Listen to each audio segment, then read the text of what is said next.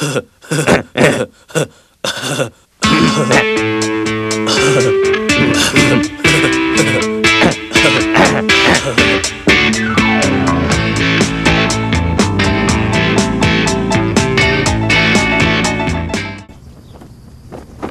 some kids, the crisis line is the only place they can get help with family issues, school problems, and questions about sex.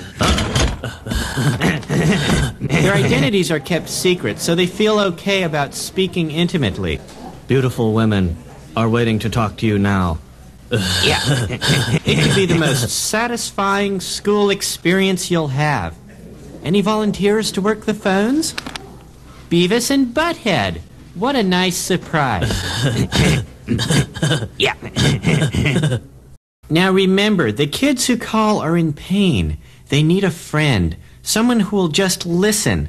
To their private fantasies. The most important thing they need is compassion without judgment, okay? I know you fellows will be great. Oh, and guys, try to make a conscious effort to be more polite, okay? Especially to the women.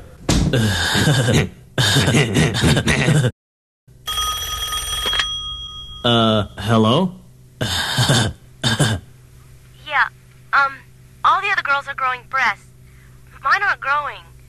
Is there something wrong with me? Hey, Beavis, this chick's flat.